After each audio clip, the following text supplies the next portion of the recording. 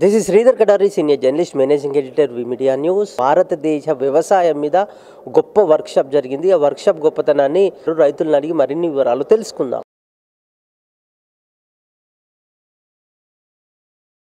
నా పేరు ఎస్. జైపాలరెడ్డి నేను వ్యవసాయదారుని ఇది తాళ్ళపూసపల్లి మహబూబాబాద్ డిస్టిక్ నేను ప్రాక్టీసింగ్ ఫార్మర్. గత నలభై ఏళ్ళ నుండి వ్యవసాయం చేసుకుంటాను జెన్నారెడ్డి రోత్తమ్ రెడ్డి గారు మా ప్రాంతం మనిషి. మా అనుకోట బిడ్డ. తనకి ఎంత చేసిందంటే ఆయనకున్న ఆస్తి అంతా కూడా గవర్నమెంట్కి ఇచ్చేసింది రెండు వందల ఎకరాలు.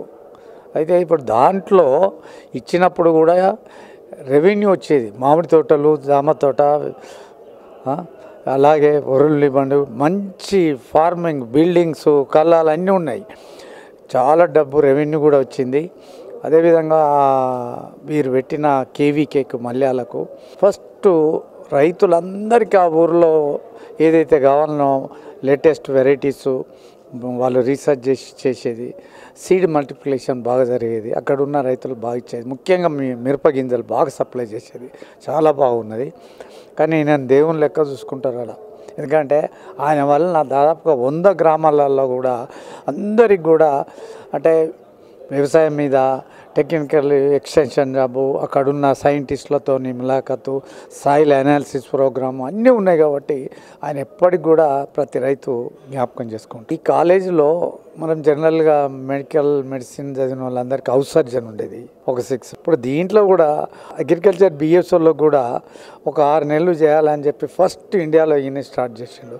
రావే అంటారు రూరల్ అగ్రికల్చర్ వర్క్మెన్స్. ఆ ప్రోగ్రామ్ని ఫస్ట్ ఇక్కడ ఆంధ్రప్రదేశ్లో ఇంట్రొడ్యూస్ చేస్తే ఇది మొత్తము ఆల్ ఓవర్ ఇండియాలో తీసుకున్నారు. అంటే ఆయన వ్యవసాయం వ్యవసాయం పైన ఎంత మక్కువ ఉండదో దీన్ని బట్టి చూస్తే అర్థమవుతుంది. అతన్ని మీ ఎప్పుడైతే స్టార్ట్ చేసామో అప్పటి నుండి కూడా ఇప్పటివరకు ఇది పన్నెండు మెమోరియల్ వర్క్షాప్. అంటే ఒకసారి రెండేళ్ళకు ఒకసారి పెడతా ఉంటాం. దేశంలో ఉన్న పెద్ద పెద్ద సైంటిస్టులు కూడా వచ్చినారు మెమోరియల్ లెక్చర్ స్వామినాథన్ కూడా వచ్చినాడు దీనికి. మన అమూల్ ఫౌండర్ వాళ్ళు కూడా వచ్చినారు. చాలామంది పేరు పొందిన వాళ్ళందరూ వచ్చినారు. మానేదంటే ఇప్పుడు దేశం ఉన్న పరిస్థితులు అన్నీ కూడా ఇప్పుడు రమేష్ చంద్ చాలా వివరంగా చెప్పిండు. రాబోయే అంటే అమృత్ కాలం అంటే రెండు వేల నలభై ఏడు వరకు వ్యవసాయం విధానాలు ఎట్లా ఉంటాయి దాంతో ఎంత లాభం దొరుకుతుంది అన్ని విషయాలు కూడా చెప్పిండు. చాలా సంతోషం మంచి విషయాలు చెప్పిండు. రైతుకు కష్టపడి పనిచేసి దేశం కోసం బతుకుతాడు. కానీ అది ఎవరు గుర్తించలేరు ఇప్పటికి కూడా. రైతే వెన్నెంక అంటారు కానీ ఆ వెన్నెమ్మకి ఇరిగిపోయింది. దాన్ని కానీ ఇది ఎవరు ఆలోచించలేరు. బట్ ఏదో ఒక రోజు వస్తుంది రైతు విలువ. అప్పుడు రైతుల విలువ తెలుస్తుంది.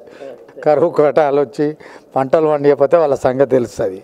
కానీ అది చేయాలంటే మంచిగా అనిపిస్తలేదు. అట్లా అందరినీ పంటలు బంద్ చేయమంటే. ఎందుకంటే ఇప్పటివరకు కూడా డెబ్బై ఐదు ఏళ్ళని స్వతంత్రం వచ్చి. ఏ రైతు కూడా హ్యాపీగా లేడు.